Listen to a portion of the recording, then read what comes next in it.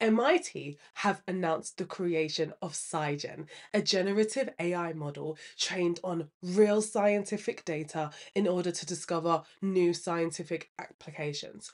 Obviously, it's known that AI is really bad for hallucinations and false information. However, these MIT researchers have trained SciGen on real scientific principles to ensure it gives more accurate results. These models are constraint driven, meaning they are taught the laws of physics and chemistry in order to ensure that when they are creating answers, they are creating answers within the known scientific principles in order to give more accurate scientific results. SciGen represents a new wave of domain aware AI that's able to lead with expert knowledge rather than generic hallucinations.